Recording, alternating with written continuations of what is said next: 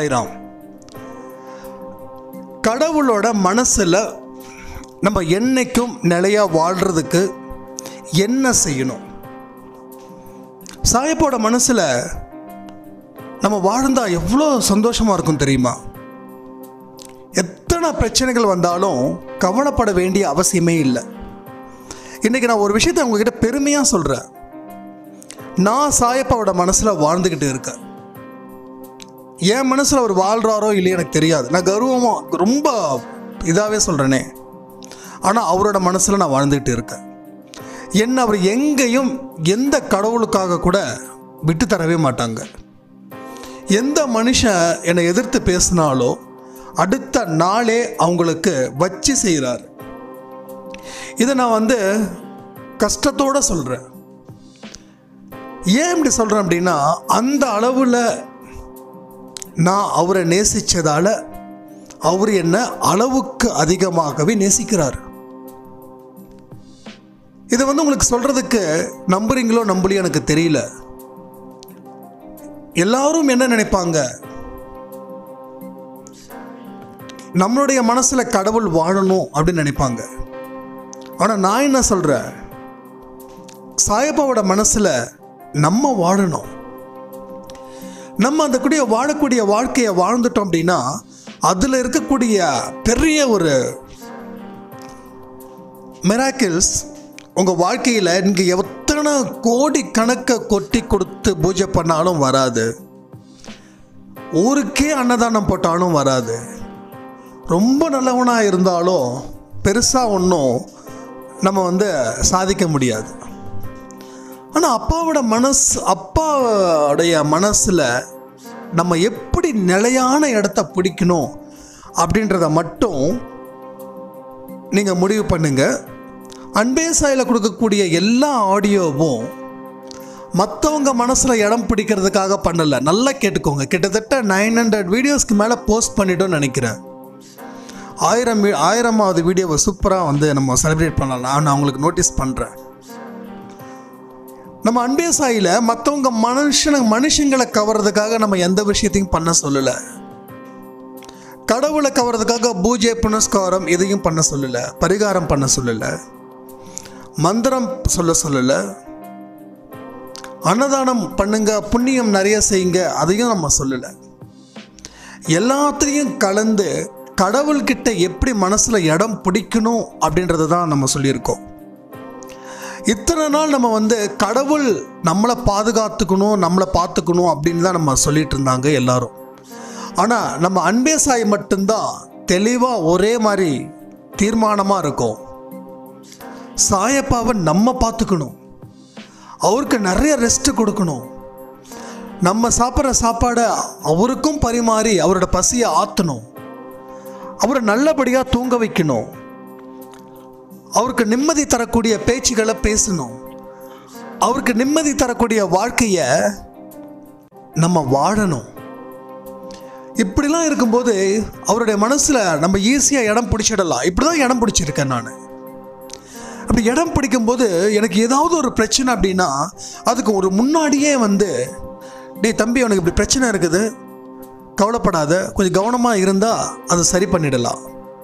Last ஒரு மூணு நாலு நாளாக நான் நானாகவே இல்லை. அத்தனை டிப்ரெஷன் ஸ்ட்ரெஸ்ஸு எல்லாருக்குமே டிப்ரெஷன் ஸ்ட்ரெஸ் டெஃபினட்டாக இருக்கும். எனக்கு டிப்ரெஷனே இல்லை அப்படின்னு சொன்னேன்னா யாரையுமே நம்பாதீங்க. ஏன்னா சில பேர் என்ன பண்ணுறாங்க அப்படின்னா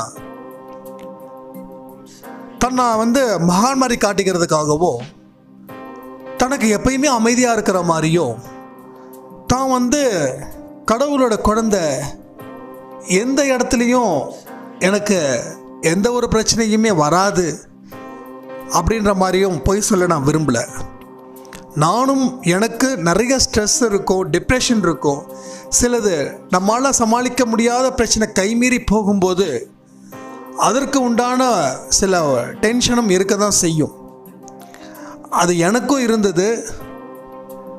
நம்மளுடைய சாயப்பாவுக்குமே அந்த கோவத்தெல்லாம் பயங்கரமாக காட்டுவாங்க. சச்சரிதம். திரும்ப திரும்ப மேற்கோள் காட்டுறது சச்சரிதம் தான். ஏன்னா அவர் வாழ்ந்த வாழ்க்கையை அழகாக எழுதியிருப்பாங்க ஹேமத் பந்த். அப்போ வந்து அந்த மாதிரி இந்த மாதிரி ஒரு பிரச்சனைகள் வரும்னு சொல்லி நான் வீட்டில் இருக்கிறவங்க கிட்ட சொல்லிட்டேன். ஏதோ ஒரு பிரச்சனை எனக்கு ஒரு பெரிய சவாலாக இருக்குது. அது என்னென்னு தெரியல. ஸோ ரொம்ப கேர்ஃபுல்லாக இருங்க. என்கிட்ட அதிகமாக வாய் கொடுக்காதீங்க. அப்படின்னு. ஆனால் அதையும் மீறி சில சில சச்சரவுகள் சண்டைகள்லாம் வந்தது. பட் இன்றைக்கி தான் கிளியர் ஆச்சு. எப்படி கிளியர் ஆச்சுன்னா அதுவும் சாயப்பா. ஏதோ ஒரு விதத்தில் சொல்லுவாங்க. ப்ராப்ளம் சால்வ் ஆயிடுச்சு. பி ஃப்ரீ அப்படின்னு. அந்த மைண்டு இன்னைக்கு காலையில் எந்திரிச்ச உடனே சாயப்பா வந்து சொல்லக்கூடிய ஒரு விஷயம் அது. அப்போ அவரோட மனசில் நான் வந்து நிரந்தரமாக குடியிருக்க ஆரம்பிச்சிட்டதால் ஏதாவது ஒரு ப்ராப்ளம் வருது நீ அதுக்கு தகுந்த மாதிரி உஷாராக இரு அப்படின்னும் போது நான் உஷாராக இருக்க கூட இருக்கிறவங்களையும் நான் உஷார்படுத்துகிறேன் தீவிரவாதிகள் இந்தியாவுக்குள்ளே வந்துட்டாங்க அப்படின்னு சொல்லி கவர்மெண்ட்டுக்கு வந்துடுச்சுன்னா அந்த கவர்மெண்ட் வந்து சல்லடை போட்டு தேடும் எங்கே தீவிரவாதிகள் இருக்காங்க அப்படின்னு. ஒருவேளை அந்த இன்ஃபர்மேஷன் வரலை அப்படின்னா நிறைய பாம் பிளாஸ்ட் எக்கச்சக்கமாக நடந்திருக்கும். நிறைய பார்த்துருக்கோம் நம்ம. அப்போ இன்ஃபர்மேஷன் வந்தவுடனே அலாட் ஆகுறாங்க. அலாட் ஆகிறதால பெரிய இழப்புகளை நம்ம வந்து சாமர்த்தியமாக எந்த இழப்பையும் கொண்டு வராத அளவுக்கு ஒரு அவேர்னஸ் இருக்கிறதால தடுத்தாச்சு. அதே மாதிரி தான் அதே மாதிரி தான் நம்ம மனசில் அவர் உட்காந்துக்கிட்டு இந்த நேரத்தில் இப்படி இருக்கு கவனம். உன்னை சுற்றி இருக்கிறவங்களையும் ஒரு எச்சரிக்கை கொடு. அப்படின்னு சொல்லும்போது நம்ம எவ்வளோ சேஃபாக இருக்கும் தெரியுமா? அந்த சேஃபை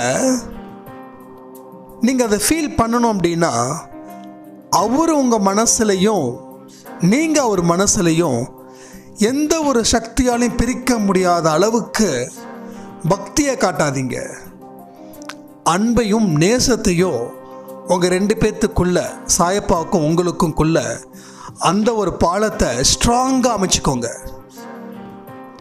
பிரிட்டிஷ் காலத்தில் கட்டின பாலம்லாம் எவ்வளோ ஸ்ட்ராங்காக இருக்குதோ அதை விட ஸ்ட்ராங்காக உங்களுடைய கனெக்டிவிட்டியை சாயப்பாவுடைய ஆன்மாவையும் உங்களுடைய ஆன்மாவையோட கனெக்டிவிட்டியை நல்லா ஸ்ட்ராங் பண்ணுங்க. நிரந்தரமாக நீங்கள் குடியிருக்கக்கூடிய ஒரு வழி அந்த ஒரு வழி மட்டும்தான். நல்லா பாருங்களேன்.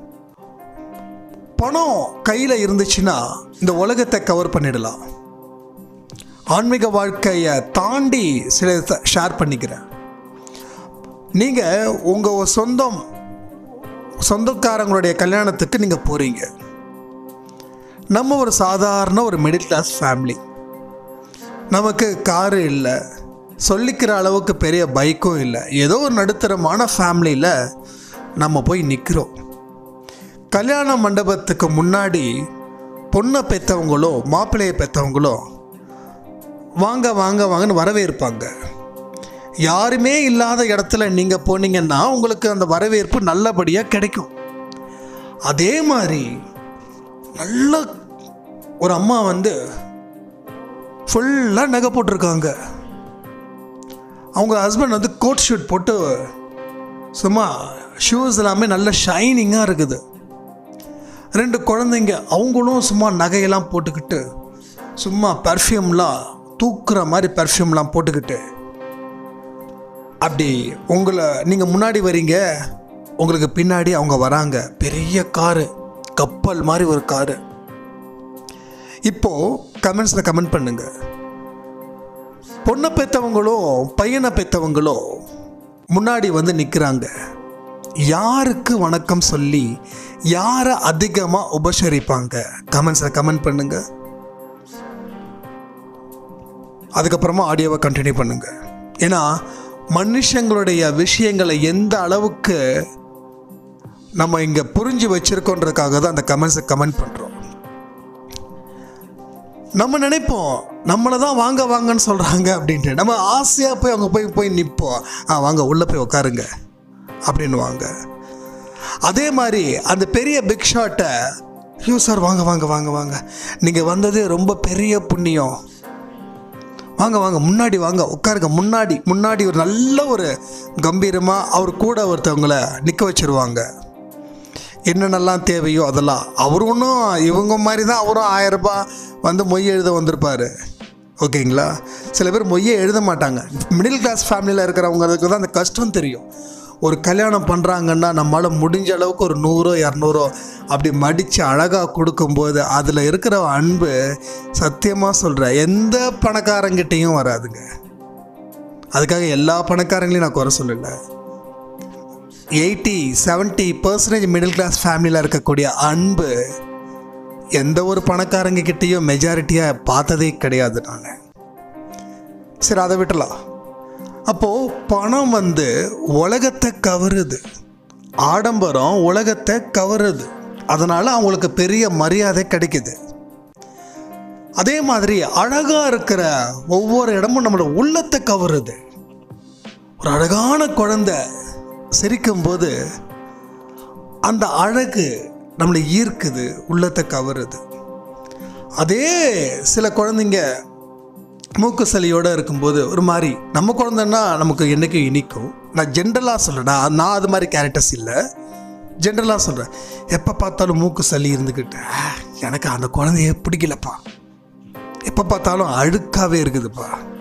ஏன் அப்படின்னா அழகாக இல்லைன்றதால நம்ம உள்ளத்தை கவரலை. ஸோ இது மாதிரி நிறைய விஷயங்களை சொல்லலாம். நல்ல மழையை ரசிக்கிறோம் அழகாக இருக்கிறதால. சாக்கடையை ரசிக்கிறோமா? அப்போ எது எதெல்லாம் கண்ணுக்கு அழகாக தெரியுதோ அதுவும் நம்ம உள்ளத்தை கவருது. அப்போ அழகும் உள்ளத்தை கவருது. சில வார்த்தைகள் மனுஷனை கவருது. அழகான வார்த்தைகள் சொல்லி தான் இன்றைக்கி நிறைய பேர் லைஃப்பில் உழுந்துடுறாங்க. பொத்து பொத்து பொத்து பொத்துன்னு. அது யாராக இருக்கலாம். நீ இல்லாமல் நான் இல்லை. என்னடா வார்த்தை? சூப்பரான வார்த்தை இல்லை. ஆனால் ஆஃப்டர் மேரேஜ்க்கு அப்புறம் அடுத்த பத்து வருஷத்துக்கு அப்புறம் அவன் இல்லாமல் இருந்தால் நான் நல்லா இருப்பேன் அப்படின்ற மாதிரி. இது ஃபன்னாக தான் பேசுகிறேன் சீரியஸாக எடுத்துக்க வேண்டாம். ஸோ வந்து பாருங்கள் ஒரு அரசியல்வாதி நல்லபடியாக பேசினா அதை பண்ணுறேன் இதை பண்ணுறேன் அப்படின்னு சொன்ன உடனே எல்லா மக்களும் வந்து போடுறா ஓட்டு அவருக்கு வேற யாருக்கும் போடாத. உள்ளத்தை கவருது ஒவ்வொரு வார்த்தைகளும் நான் உங்கள் வீட்டு பிள்ளை அப்படின்னு சொல்லி எல்லாருமே காலில் விழுந்து போது ஒரு கவருது ஒரு வார்த்தைகள் வந்து நம்ம மனுஷனை கவருது. நல்ல வார்த்தைகள் சொல்லும்போது மனுஷனை கவருது. பொய்யான வார்த்தைகள் சொல்லும்போதும் மனுஷனை கவருது. அப்போது இது எல்லாமே ஒவ்வொரு இடத்துல கவருது. பணம் உலகத்தை கவருது. அழகு உள்ளத்தை கவருது. வார்த்தைகள் வந்து மனுஷனை கவருது. அப்போது கடவுளை கவர்றதுக்கு உண்டான ஒரு இடம் என்ன அப்படின்னா மற்ற மனுஷங்க மேலே நம்ம இறக்கப்படுறது. புரிஞ்சுக்கோங்க. இறக்கும் அப்படின்றது அச்சுச்சோ எப்படி ஆயிடுச்சு? இப்படியா வாழ்கிறாங்க பாவம். அப்படின்றது கிடையாது. ஒரு மனுஷனுக்கு நம்மால் எந்த அளவில் உதவிகள் செய்ய முடியுமோ கேட்காமலே உதவி செய்கிறது அதை நீங்கள் செய்ய செய்ய என்ன ஆகும் அப்படின்னா கடவுள் அப்போ தான் அவருடைய உள்ளத்தில் நீங்கள் நிரந்தரமாக குடியிருப்பீங்க. சாயப்பாட உள்ளத்தில் நிரந்தரமாக குடியிருக்கு ரெண்டு வகை இருக்குது. ஒன்று நீங்கள் அவர்கிட்ட வைக்கக்கூடிய அஃபெக்ஷன் அடுத்தது அவருடைய குழந்தைங்க மேலே நீங்கள் வைக்கிற அஃபெக்ஷன் அதாவது அவர் குழந்தைங்க அப்படின்னா சக மனுஷங்க. அவங்க வந்து சாயப்பாவை கும்பிட்றவங்க மட்டும்தான் அப்படிலாம் கிடையாது. அதை புரிஞ்சுக்கோங்க. எல்லா மதத்திலையும் இருக்கக்கூடிய கஷ்டப்படக்கூடிய மக்கள் நம்மால் என்ன முடியுமோ அதை கொடுக்கணும்னு நினச்சோம் அப்படின்னா இம்மீடியட்டாக கொடுத்துடணும். என்றைக்குமே அந்த ஒரு விஷயத்த நீங்கள் வந்து கையில் எடுத்துக்கோங்க. ஏன்னா நிறைய பேருடைய வாழ்க்கை எங்கே தெரியுமா மாறுது? கையில் காசு இல்லாதப்போ மற்றவங்களுக்காக நம்ம இறக்கப்படுறோம். ஆனால் கையில் காசு வந்ததுக்கப்புறம் மற்ற மனுஷங்க மேலே இறக்கப்படுறதே கிடையாது. கையில் காசு இல்லாதப்போ நம்ம நிறைய வழிகள் அனுபவிச்சிருப்போம்.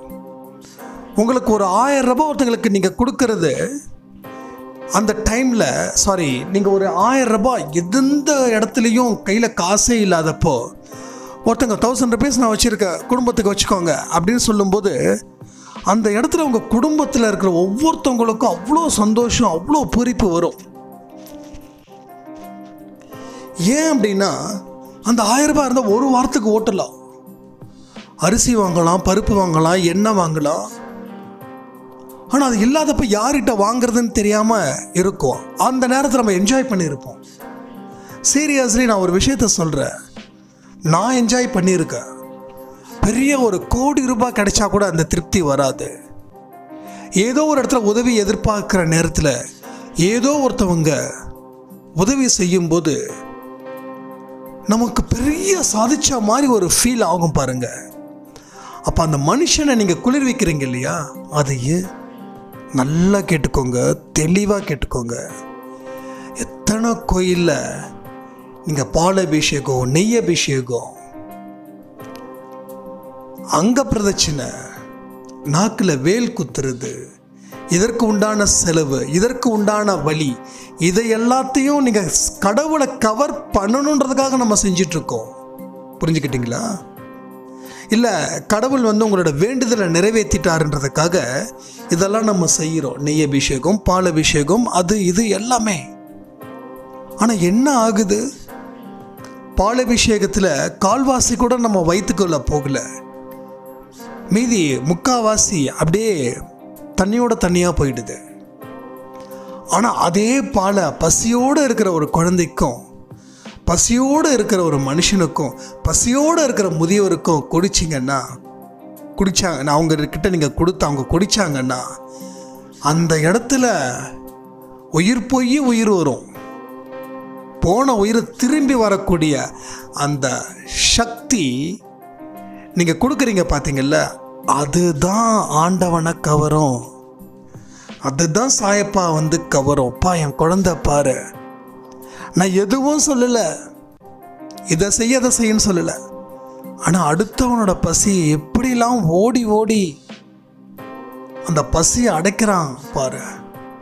இவன் தாண்டா என் குழந்த. அந்த ஒரு மைண்டில் சாயப்பா வந்து உங்களை வச்சுருப்பாங்க.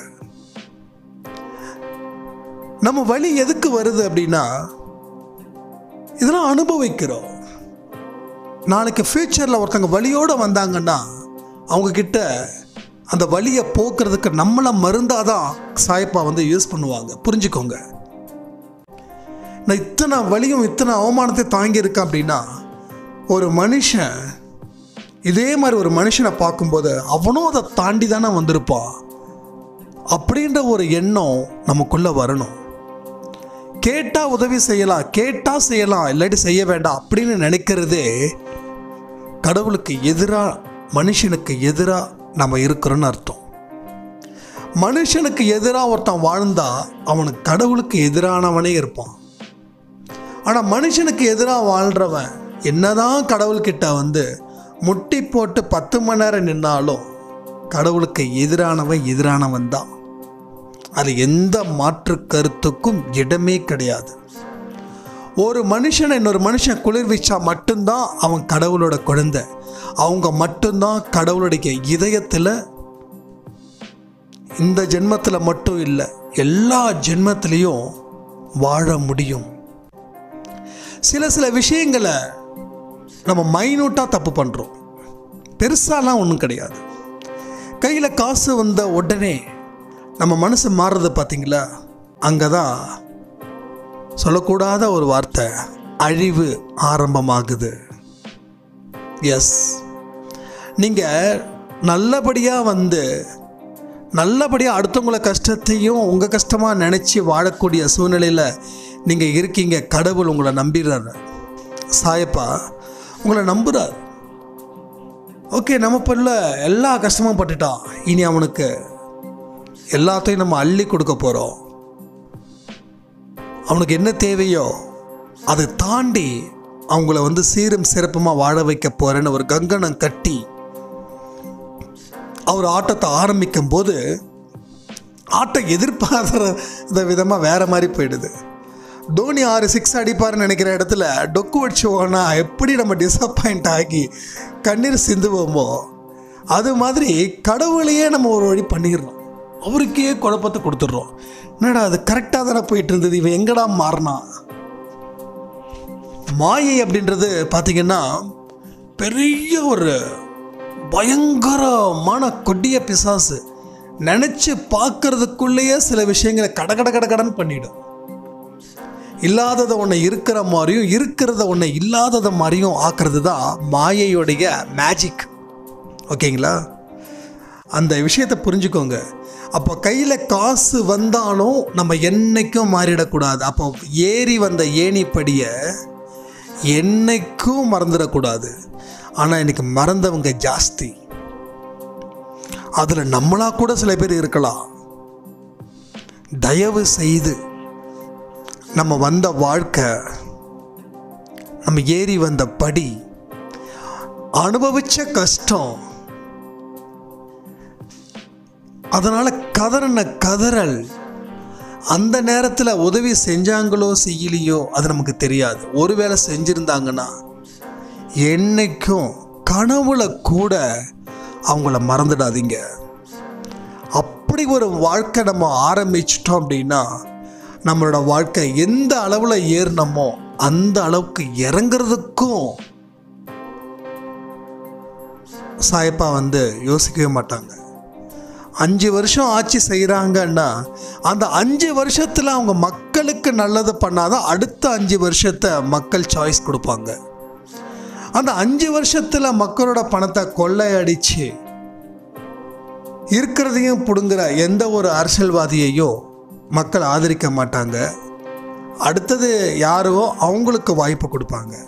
ஸோ கொடுக்குற வாய்ப்பை சரியாக பயன்படுத்திக்கிட்டால் நம்மளுடைய ஆட்சியை தக்க வச்சுக்கலாம்.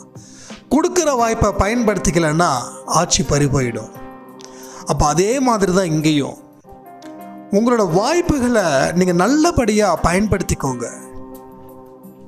அடுத்தவனை கஷ்டப்படுத்துறதுக்கும் துன்பப்படுத்துறதுக்கும் வேதனைப்படும் போது நம்ம ஒதுங்கிறதுக்கும் ஒரு மனுஷனை ஒதுக்கணும் அப்படின்னா நம்மளை சில பேர் ஒதுக்கி இருந்தாங்கன்னா இன்னைக்கு என்ன ஆயிருப்போம்? என்னை நிறைய பேர் ஆதரித்தாங்க நிறைய பேர் ஒதுக்குனாங்க. ஆதரித்த மனுஷங்களால் நான் இன்றைக்கி வாழ்ந்துக்கிட்டு இருக்கேன். வெறுத்தவங்களால் நான் வாழலை. நமக்கு பிடிச்சவனும் நாலு பேர் இருப்பான். பிடிக்காதவனும் நாலு பேர் இருப்பான். பிடிச்சவன் கடவுளுடைய இன்டைரக்டான தூண்டுதல் மூலமாக நம்ம வாழ்க்கையை இந்த அளவுக்கு கொண்டு வந்திருப்பாங்க. பிடிக்காதவங்க நம்மளை அழிக்கணும்னு நினச்சி நமக்கு செய்வாங்க. ஸோ பிடிக்காதவங்கள பற்றி பேச வேண்டாம். அந்த நேரத்தில் பிடிக்காதவங்க கொடுத்த சில வழிகளும் வேதனைகளையும் நம்ம அனுபவிச்சிருப்போம். நமக்கு சப்போர்ட் பண்ணுறவங்க நம்மளை ஏற்றி விட்டுருப்பாங்க. ஆனால் நம்ம சப்போர்ட் பண்ணுறவங்க இன்றைக்கி எந்த நிலையில் இருக்காங்க? அவங்களுக்கு என்ன தேவைகள் இருக்குதுன்றத உங்களால் எந்த அளவில் முடியுமோ அந்த அளவில் பண்ணுங்கள் ஒரு நூறுரூபாய்க்கு நீங்கள் வந்து உதவி பண்ணாலும் அதுவும் ஒரு உதவி தான் ஒரு லட்ச ரூபாய்க்கு பண்ணாலும் அதுவும் உதவி தான் லட்ச ரூபாய்க்கு பண்ணால் ஒரு தனி இடம் சொர்க்கத்தில் நூறுரூவாய்க்கு பண்ணால் ஒரு தனி இடம் அப்படிலாம் இல்லை. என்ன மனசு வச்சு நம்ம பண்ணுறோமோ அந்த மனசுக்கு தகுந்த மாதிரியான இடம் தான் இருக்குது. சொர்க்கம்லாம் எதுவும் கிடையாது. சொர்க்கம் நரகம்லாம். எல்லாமே மண்ணுக்குள்ளேயே முடிஞ்சிடுது. நம்ம உயிர் போன உடனே இந்த ஆத்மா அடுத்த ஒரு இடத்துக்கு போக ரெடி ஆயிடுச்சு. அப்போ நம்ம பா- பாவ புண்ணிய கணக்குக்கு தகுந்த மாதிரி தான் ஒரு செல்வந்தரான வீட்லேயோ ஒரு வறுமையான ஒரு வீட்லேயோ இல்லை ஒரு மிடில் கிளாஸான ஒரு வீட்லேயோ நம்ம பிறக்க வைக்குது. அதனால் மேலே போய் சித்திரகுப்தன் அந்த குப்தன் இந்த குப்தன் முன்னாடி கணக்கெலாம் எழுதி நீ இதை செஞ்சிய அதை செஞ்சிய? அதெல்லாம் எதுவும் கிடையாது. அப்பப்போ இமீடியட்டாக ஒன்றும் இல்லை ஒரு சூப்பர் மார்க்கெட் போகிறீங்க ஒரு பதினஞ்சு காய்கறிகளை வாங்குறீங்க. ஒரு நாலு கத்திரிக்காய் நாலு கத்திரிக்காய்னா அந்த கத்திரிக்காய்க்கு என்ன விலையோ அக்யூரேட்டாக இருக்கும். இருபத்தி நாலு ரூபா இருபது பைசா. ஒரு ரெண்டு வெண்டைக்காய் ஒரு ரூபா நாற்பத்தொம்பது பைசா. ஒரு பத்து அவரைக்காய் அந்த பத்து அவரைக்காய்க்கு உண்டான எக்ஸாக்ட் காசு எக்ஸாக்டான அந்த சேஞ்சு அதாவது இருபது பைசா முப்பது பைசா நாற்பது பைசா. ஸோ எப்படி அக்யூரேட்டாக இருக்குது? எலக்ட்ரானிக் மிஷின் வர்றதுக்கு முன்னாடி ஏதோ ஒரு கணக்கு பார்த்து வாங்குவாங்க போவாங்க ஓகே முன்ன பின்ன இருக்கும். ஆனால் எந்த இடத்துல என்ன எடுக்கிறோமோ அந்த அளவுக்கு தான் காசு வாங்குறாங்க இல்லையா? ஒரு காய்க்கு ஒரு காய்க்காகலாம் வாங்கல. எத்தனை காய் வைக்கிறோமோ அத்தனை காய்க்கு உண்டான ஒரு குவான்டிட்டி தகுந்த மாதிரி வெயிட்டுக்கு தகுந்த மாதிரி சார்ஜ் பண்ணுறாங்க அதே மாதிரி தான் நீங்கள் நீங்கள் பிறந்த புலகத்தில் செய்யக்கூடிய ஒவ்வொரு செயல்களும் இம்மீடியட்டான ஒரு கால்குலேஷனோட தான் இருக்குது இந்த நிமிஷம் நீங்கள் ஒரு மனுஷனை அவன்லாம் இப்படி வாழ்கிறானே வைத்தறிச்சல் பட்டா அதுக்கு ஒரு கணக்கு டக்குன்னு வந்துடுது பாவ கணக்கில். அந்த மனுஷனுக்கு நம்ம உதவி செய்யணும். காலைல எந்திரிச்ச உடனே அந்த மனுஷங்கிட்ட உனக்கு என்ன தேவையோ நம்ம தெரிஞ்சுக்கிட்டு நேரம் உங்கள் வீட்டில் போய் நிற்கணும் பாவம் அரிசியே இல்லாமல் இருந்தாங்க. ஒரு அரிசி மூட்டை வாங்கி அனுப்பணும் அவங்களுக்கு. அப்படின்னு நினைக்கும் போது உங்களுக்கு புண்ணிய கணக்கு வருது. அதை தாண்டி அவங்களுக்கு ஒரு சர்ப்ரைஸ் கொடுக்குறீங்க. நீங்கள் வீட்டுக்கு போயிட்டு பேசிட்டு இருந்தாங்க அரிசி மூட்டை. அப்படின்னு எதுக்குங்கன்னு கேட்பாங்க. இருக்கட்டும். அப்படின்னு சொல்லிட்டு நீங்கள் பண்ண உதவியை ஒரு பெருமையாக நினச்சிக்கிட்டே வாழக்கூடாது. அதுலேயுமே சில பேருக்கு பெரிய பிரச்சனைகள்லாம் இருக்கும் உடனே ஒரு வாட்ஸ்அப் ஃபோட்டோஸ்லாம் எடுத்து உதவி செய்தேன். அப்படின்னு சொல்லிட்டிங்கன்னா எல்லாமே ஜீரோ தான் வரும். எந்த ஒரு கணக்கு இல்லாமல் செய்ய வேண்டியது நம்ம கடமை. நமக்கு ஒருத்தங்க செஞ்சுருக்காங்க. அதே மாதிரி நம்மளே உங்களுக்கு செய்கிறோம் அவ்வளோதான் இது மாதிரி மாதத்துக்கு ஒருத்தவங்களுக்கு நீங்கள் உதவிகள் செய்யுங்க. புரியுதா உங்களுக்கு? அப்போ தான் சாயப்பா என்றைக்கும் உங்களுடைய மனசில் நிரந்தரமாக குடியிருப்பாங்க. அதை தாண்டி அவருடைய மனசில் நீங்கள் நிரந்தரமாக குடியிருப்பீங்க. அவர் நிரந்தரமாக உங்ககிட்ட குடியிருக்க ஆரம்பிச்சிட்டாருன்னா அதுக்கப்புறம் நாம் ஏர்லியராக சொன்னக்கூடிய வார்த்தைகள்லாம் சொன்னேன் இல்லையா? அது எல்லாமே உங்களோட வாழ்க்கையில் படிப்படி படிப்படியாக நடக்கும். எந்த இடத்துலையும் நீங்கள் வந்து பின்வாங்க வேண்டிய அவசியமே கிடையாது. அதே மாதிரி மற்றவங்க மாதிரி இருக்கணும் அப்படின்றதையும் ஆசைப்படாதீங்க. இன்றைக்கி மற்றவங்களும் என்ன பண்ணுறாங்க ஒருத்தவங்களுக்கு ஒரு உதவிகள் செஞ்சிட்டா உடனே நான் சொன்ன மாதிரி வாட்ஸ்அப்பில் ஃபேஸ்புக்கில் அது இதுன்னு சொல்லி அமக்கலம் பண்ணிடுறாங்க. இந்த ஃபேஸ்புக்கை பார்த்தோம் அப்படின்னா சில நேரத்தில் சில மனுஷங்களை பார்க்கும்போது ரொம்ப கண்ணீர் வருது. இவங்க பர்த்டே செலிப்ரேஷனுக்காக போகிறாங்க அங்கே போயிட்டு ஃபோட்டோஸ் எடுத்து அதை ஃபேஸ்புக்கில் போட்டு லைக்கு ஷேரு கமெண்ட்ஸு தயவு செய்து சொல்கிற எந்த ஒரு விஷயத்தையும் பப்ளிசிட்டி பண்ணாதீங்க. பப்ளிசிட்டி பண்ணக்கூடிய மனுஷங்க நம்ம இருக்கவே முடியாது இருக்கவும் கூடாது. அதே மாதிரி எல்லாருக்கும் ஒரு விஷயத்த ரொம்ப அன்பாக அக்கறையாக சொல்கிறேன் ஃபேஸ்புக்கில் தயவு செய்து லேடிஸுங்களுக்கு தான் நான் முதல் ப்ரெஃபரன்ஸ் கொடுக்குறேன். உங்களுடைய ஃபோட்டோஸை போடவே போடாதீங்க. நம்ம ஒரு ஃபேஸ்புக்கில் நம்ம ஃபோட்டோஸ் போடுறதால என்ன நடந்துட போகுது? ஒரு காலத்தில் நான் டெய்லியும் ஒரு மூணு ஃபோட்டோ நாலு ஃபோட்டோ போட்டேன். இதுக்காகவே வேலை மெனக்கெட்டு ஃபோட்டோஸ் எடுத்து ஃபேஸ்புக்கில் போடுவேன். வாட்ஸ்அப்பில் ஸ்டேட்டஸாக வச்சு தள்ளுவேன். என்ன யூஸ் அப்படின்னா ஒன்றுமே யூஸ் இல்லைங்க. நம்ம என்ன சினிமாவில் நடிக்க கூப்பிட போகிறாங்களா இல்லை ஏதோ மாடலிங் பண்ண கூப்பிட போகிறாங்களா என்ன பர்பஸ்க்கு பண்ண நம்ம வந்து ஃபோட்டோஸ் போடுறோம்? அப்போ நமக்கு எதுக்கு இப்படி ஒரு பப்ளிசிட்டி நமக்கு தேவை அப்படின்னு நம்ம நினைக்கிறோம்? இன்றைக்கி கூட நான் வாரத்தில் ஒரு நாள் மட்டும்தான் என்னுடைய ஃபோட்டோஸ் நான் ஸ்டே ஸ்டேட்டஸில் வைப்பேன். அதுவே ஏன்டா வைப்பேன்னு சொல்லி டக்குன்னு டெலிட் பண்ணிவிடுவேன் நான். வீட்டில் இருக்கிறவங்க எல்லாம் சொல்ல வச்சா என்ன? அதனால் என்ன இருக்குது அப்படின்னா அது வச்சு என்ன செய்ய போகிறோம் நம்ம தான் வந்து அப்படியே நான் தாண்டா மன்மதை. என்னை தாண்டி யாராவது ஸ்டைல் பண்ண முடியுமான்னு சவால் விடுறோமா? இன்றைக்கி எல்லா மக்களும் அதான் பண்ணுறாங்க நம்ம பண்ண வேண்டாம். பப்ளிசிட்டி அப்படின்றது நமக்கு அது அவசியமே கிடையாது. அதனால் உங்ககிட்ட எல்லாருக்கிட்டையும் ஒரு ரெக்வஸ்ட் பண்ணி ஒரு விஷயத்த நான் கேட்குறேன் ஃபேஸ்புக்கில் உங்களுடைய ஃபோட்டோஸ்லாம் இருந்துச்சு அப்படின்னா இம்மீடியட்டாக டெலிட் பண்ணுங்கள் அதே மாதிரி ஒரு செஞ்ச உதவியை கேமரா போட்டு வெளிச்சத்தை கொடுக்காதீங்க. ஏன்னா உங்ககிட்ட இருந்து வாங்கினவங்க இருக்காங்க இல்லையா? அவங்க பாவம். அவங்க ஏதோ ஒரு இடத்துல நம்ம மூலமாக சாயப்பா வந்து அனுப்பி வைக்கிறாங்க. அவங்கள வந்து ஃபோட்டோஸ் போட்டு அசிங்கப்படுத்த வேண்டான்றது தான் என்னுடைய தாழ்மையான வேண்டுகோள்.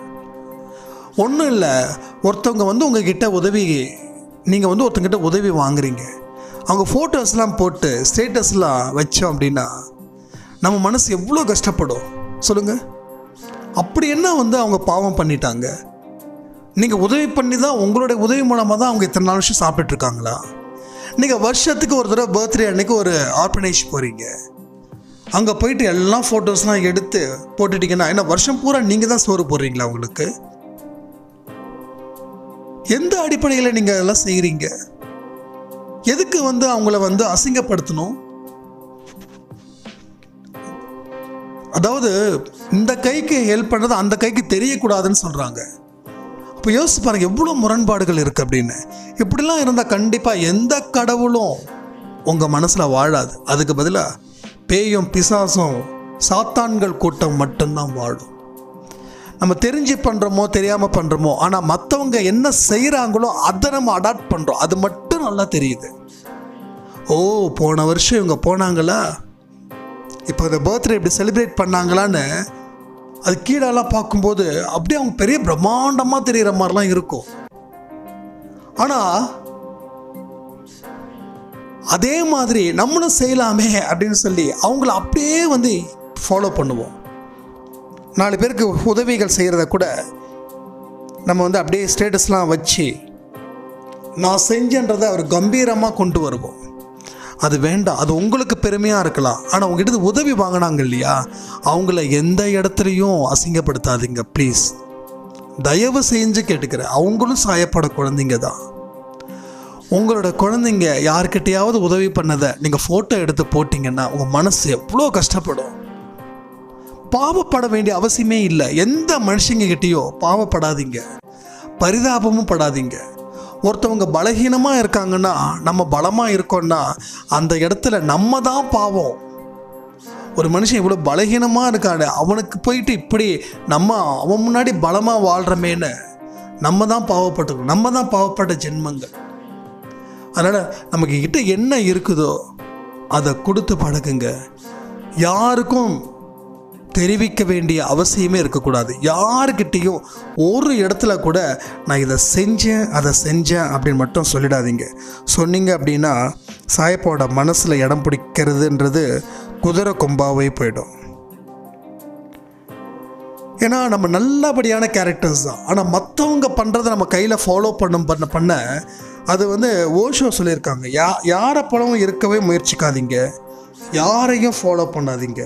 அது வந்து தற்கொலை பண்ணிக்கிறத விட மோசமான ஒரு விஷயம் அப்படின்னு. ஏன்னா ஒருத்த ஒருத்தனை பார்த்து ஃபாலோ பண்ண பண்ண நம்ம என்ன பண்ணுறோம் நம்மளோட ஒரிஜினாலிட்டியை இழந்துடுறோம். இந்த இடத்துல அன்பு ஏன் மாறுது? பணம் ஏன் வருது அப்படின்னா நம்மளை நம்மளாக இருந்துட்டால் பிரச்சனையே இல்லை. நம்ம இன்னொருத்தனை ஃபாலோ பண்ணுறோம் அவன் வந்து ஏதோ ஒரு இடத்துல தப்பு பண்ணி வந்திருப்பான். அவனை நம்ம க கையில் எடுத்துக்கிறோம். அவன் தான் ரோல் மாடல் பா என்ன மாதிரி காரில் வரான்? என்ன மாதிரி பண்ணுறான் இப்படி தான் இருக்கான் இப்படி நடக்கிறான் இப்படி ஸ்டைல் பண்ணுறான் சில பேர்லாம் கேர்ள்ஸுங்கெல்லாம் பொறுத்த வரைக்கும் சரி பாய்ஸுங்களை விட கேர்ள்ஸுங்களை தான் இந்த விஷயம் பொருந்தும்னு நினைக்கிறேன். ஒரு தன்னுடைய அபிமான சினிமா ஆக்ட்ரஸ் அவங்க போடுற காஸ்டியூம்ஸ் அவங்க போடுற அந்த தோடு கம்மல் ரெண்டும் ஒன்று தான் நினைக்கிறேன் சாரி மூக்குத்தி சுடிதார் இது மாதிரி அதே மாதிரி அப்படியே டிட்டோ அவங்க போடுற லிப்ஸ்டிக் இதெல்லாம் அவசியமே இல்லை. அப்துல் கலாம் சொன்னதை ஞாபகப்படுத்திக்கோங்க. கண்ணாடி முன்னாடி நின்னா வாழ்க்கை வீணாவே போயிடும். கடைசி வரைக்கும் வீணாக போகும். எத்தனை வருஷம் கண்ணாடி முன்னாடி நின்று நம்ம அழகுபடுத்திக்க முடியும்? ஒரு இருபது சரி இருபது இருபதுலாம் ஸ்டார்ட் ஆகுதுன்னு வச்சுக்கோங்க. ஒரு முப்பது. அதுக்கப்புறம் தோல் சுருக்கம் வரும். அன்னை தெரசாவுடைய சுருக்கம் தான் அவங்களுக்கு அழகு. ஏன்னா மனசில் இருக்கக்கூடிய அழகு கண்ணில் சொக்குது. அப்படியே அந்த அம்மாவை பார்த்தா கீழே பொத்துன்னு விழுந்துருவோம் அப்படிப்பட்ட ஒரு அழகு. அவங்க ஃபோட்டோஸ்லாம் பார்க்கும்போது பார்த்தீங்கன்னா அவ்வளோ அழகாக அவ்வளோ க்யூட்டாக அவ்வளோ ஸ்மைலியா எந்த பியூட்டி பார்லர் போனாங்க? எந்த ஃபவுண்டேஷன் யூஸ் பண்ணாங்க? எந்த லிப் பாம் யூஸ் பண்ணாங்க? என்ன பிராண்ட் லிப்ஸ்டிக் யூஸ் பண்ணாங்க? தயவு செய்து தெளிவாக உங்ககிட்ட ஒரு விஷயத்த சொல்கிறேன் மேக்கப் தயவு செய்து போடாதீங்க. போலியை காட்டுறது தான் மேக்கப்பே தவிர உண்மையை காட்டுறது மேக்கப்பே கிடையாது. ஒருத்தங்களை பார்த்து ஒருத்தங்களை ஃபாலோ பண்ணுறது தற்கொலை பண்ணுறதுக்கு சமம். அதனால் நீங்கள் நீங்களாக இருக்க போது இருந்தால் மட்டும்தான் உங்களுடைய ஸ்பிரிச்சுவல் அப்படின்றது இந்த இடத்துல ஸ்ட்ராங்காக இருக்கும். நீங்கள் நீங்களாக இல்லாதப்போ உங்களை வேறு மாதிரி நீங்கள் காட்டிக்கிட்டீங்க அப்படின்னா அது நீங்கள் அந்த இடத்துல ஏமாந்துக்கிட்டே இருக்கீங்கன்னு அர்த்தம். ரெண்டாவது ஆன்மீக வாழ்க்கையில் உங்களுக்கு நிறைய தோல்விகள் வருது அப்படின்னா நீங்கள் நீங்களாக இல்லை நீங்கள் ஏதோ ஒரு மனுஷனை ஏதோ ஒரு மனுஷியை நீங்கள் ஃபாலோ பண்ணுறீங்க அப்படின்னு அர்த்தமாகுது. ஒவ்வொரு இடத்துலையும் நீங்கள் யோசிச்சு பாருங்கள் உங்களோட வாழ்க்கையில் ஏன் இப்படி நம்ம மாறி இருக்கோம் அப்படின்னா நல்லா ஆழ்ந்து டீப்பாக யோசிச்சிங்கன்னா ஏதாவது ஒரு மனுஷன் உங்கள் முன்னாடி வந்திருப்பாங்க. நான் வந்து இப்படி இருக்க நான் ஸ்பிரிச்சுவலில் இப்படி இருக்க அப்படின்னா இன்னைக்கு வரைக்கும் சரி. நான் வந்து செவன்த்து படிக்கிறதுல இருந்து இன்னைக்கு வரைக்கும் என்னோட மூஞ்சியில் பவுடர் போட்டதாக சரித்திரமே கிடையாது. என்ன நான் என்னைக்கும் இந்த ட்ரெ இந்த இடத்துக்கு போனால் இந்த ட்ரெஸ் தான் போடணும் அப்படின்றதும் கிடையாது. அப்போ வந்து எது நேச்சுரலோ அதை மட்டும்தான் நான் பார்க்குற நேச்சுரல் இல்லாத விஷயத்த நான் செய்கிறதே கிடையாது. என்னோட வாட்ஸ்அப்பில் கூட சம்திங் ஸ்டேட்டஸ் போடும்போது அது நான் கூட போடுறது கிடையாது. அது என்ன பண்ணுவாங்க அப்படின்னா ஃபோன் இப்போ தான் ஃபோனில் வந்து எடுத்த உடனே சும்மா வெள்ளையாக இருக்கிற தக தகன்னு மின்னுமே. அப்படி தானே இன்றைக்கி ஃபோன்ஸ் கூட வந்திருக்குது. அதுதான் எடுத்து இல்லை வைங்க சும்மா வைங்க சும்மா வைங்கன்னுவாங்க. ஏதோ அவங்க திருப்திக்காக. நான் மனப்பூர்வமாக பண்ணாதான் அது நான் பொறுப்பாக முடியும். ஏன்னா என்னடா அது? இவர் ஸ்டேட்டஸில் வந்து ஃபோட்டோ வச்சுருக்காரு. இப்படி வந்து சொல்கிறாரே அப்படின்னு நினச்சிடக்கூடாதுல்ல? அந்த ஒரு விஷயத்துக்காக தான் சொல்கிறேன் அதுவும் கொஞ்ச நாளில் காணாமல் போயிடும். ஏன்னா நான் ஒரு ஃபோட்டோ பைத்தியம். செல்ஃபியோட எடுத்து எடுத்து தள்ளுவேன் என் கூட மூணு நாலு வருஷமாக இருக்கிறவங்களுக்கு தெரியும். அது ஒரு ஹாபி மாதிரி அது. அது வந்து ஒரு ஸ்டேஜில் என்ன ஆச்சு அப்படின்னா அதுவே வாழ்க்கையாக போன மாதிரி ஆயிடுச்சு. ஃபேஸ்புக்கில் போடுறது லைக்ஸ் பார்க்குறது யாராவது லைக்ஸ் பண்ணியிருக்காங்க எத்தனை லைக்ஸ் பண்ணியிருக்காங்க எத்தனை கமெண்ட்ஸ் பண்ணியிருக்காங்க அப்படின்னு அப்போ தான் யோசிச்சோம் நம்மளை மாதிரி நிறைய பேர் இப்படி தான் இருக்கிறாங்க. ஓகே இது நமக்கு செட் ஆகாது. ஆக்சுவலி சர்க்கார் மூவியை வந்து தேட்டரில் பார்த்துட்டு வந்த உடனே சில விஷயங்கள்லாம் நான் வந்து என் கூட இருக்கிற ஃப்ரெண்ட்ஸ் கிட்ட சொன்னேன் இதே மாதிரி நம்மளும் ஃபோட்டோ ஷூட் எடுக்கலாமா? அப்படின்னு. அதுக்கு முன்னாடி நிறைய எடுத்திருக்கோம் சில மாதிரியான லூசுத்தனமான விஷயங்கள் எல்லாம். வந்து பார்த்தா திடீர்னு டிக்டாக்ல பார்த்தா எல்லாம் விஜய் மாதிரி ஒருத்தவங்க இங்கே ஓடுறாங்க ஒருத்தவங்க அங்கே ஓடுறாங்க ஒருத்தங்க டைலாக்ஸ் பேசுகிறாங்க ஐயையோ நிறைய பேர் இருக்கிறாங்க இப்போ இருக்குது நம்மள மாதிரியான ஹை லெவல் மெச்சூரிட்டி இது நமக்கு செட் ஆகாது. சில பேர் அவங்க ஃபீல்டில் ப்ரொஃபஷனுக்காக பண்ணலாம். நமக்கு வந்து ஆஸ் அ பிஸ்னஸ் மேனாக இருக்கிறவனுக்கு இது அவசியம் கிடையாது. இதில் ஓடணும் அப்படின்னா நாட்கள் வீணாக போயிடும். கடைசியில் பெரிய ஜீரோ தான் கிடைக்கும். என்னைக்கு என்னுடைய ஒரிஜினாலிட்டியை நான் கையில் எடுத்தனோ அன்னைக்கு வாழ்க்கையில் எனக்கு பெரிய டேர்னிங் பாயிண்ட் அதை தான் நான் சொல்ல வந்தேன். நானும் நிறைய பேர் மேலே ஃபாலோ பண்ணேன். அது ஃபாலோ பண்ணேன் அடுத்தவங்கள அட்மையர் பண்ணணும் ரொம்ப அழகு பண்ணணும் அப்படியே ஸ்டைல் பண்ணணும். நான் தாண்டா வேறு எவனும் இல்லைடான்னு இப்படி ஒவ்வொருத்தரும் நினச்சா நல்லா கேட்டுக்கோங்க. ஒவ்வொருத்தவங்களும் இப்படி நினச்சா என்ன ஆகிறது? அதனால் இந்த பாதை வேண்டாம். நம்ம பாதை இந்த பாதை இல்லை. நம்ம பாதை வேற பாதை. இருக்கிறத இருக்கிறதுன்னு சொல்கிறதும் இல்லாததை இல்லாததுன்னு சொல்கிறதும் உண்மையை ஒத்துக்கிறதும் மன்னிக்கிற சக்தியும் இதுதான் நம்மளுடைய சாயப்பா சொல்லக்கூடிய பாதையாக இருக்குமே தவிர போலியான வாழ்க்கை போலியான மேக்கப் போலியான உதவி போலியான பப்ளிசிட்டி எதுவும் நமக்கு அவசியமும் இல்லை. சோறும் போடாது. ஸோ வாழ்க்கையில் நல்ல ஒரு வாய்ப்பு சாயப்பாட குழந்தையாக இருக்கிறது. இதை மறுபடியும் மேலும் மேலும் மெருகேற்றி நம்ம வாழ்க்கையில் அடுத்த கட்டத்துக்கு நகர்ந்தோம் அப்படின்னா துன்பங்கள் உங்களை என்ன செஞ்சிடும்? போலியான வாழ்க்கை வாழ்ந்தவங்க தான் துன்பம் ஒரு யமன். ஆனால் நல்ல வாழ்க்கை ஆனந்தமான வாழ்க்கை உண்மையான வாழ்க்கையை வாழ்கிறவங்களுக்கு துன்பம் கூட ஒரு ஃப்ரெண்டாக இருக்கும் சரியா? மண்புழு தான் ஒரு விவசாயியோட தோழன்னு சொல்லுவாங்க. ஆனால் மண்புழு பார்க்கும்போது நமக்கு அருவருப்பாக இருக்கும். அப்போது துன்பம் வந்து ஒரு மனுஷனுக்கு அருவறுப்பை கொடுக்கும் துக்கத்தை கொடுக்கும். ஆனால் உண்மையாக இருக்கக்கூடிய எந்த ஒரு மனுஷனுக்கும் துன்பம் ஒரு சிறந்த நண்பன். தோல்வி அதை விட சிறந்த நண்பன். வெற்றியோட தோல்விக்கு வந்து வலிமை ஜாஸ்தி. வெற்றி வந்தால் மயக்கம் வரும் மந்தம் வரும் பயம் வரும். அடுத்த வெற்றி இதோட பெஸ்ட்டாக கொடுக்கணுமே அப்படின்ட்டுன்னு. ஆனால் ஆன்மீக வாழ்க்கையில் சாயப்பாட குழந்தையாக இருந்து சீரம் சிறப்புமாக செயல்படுற நமக்கு துன்பங்கள் கூட ஒரு வரம். தோல்வி கூட ஒரு பெரிய பொக்கிஷம். அதனால் இதை மனசில் நினச்சி நம்ம வாழ்க்கையை நல்லபடியாக வாழ்ந்து சாய்ப்பாவுடைய பெருமை சேர்ப்போம்னு சொல்லி இந்த ஆடியோவை முடிக்கிறேன். ஜெய் சைராம்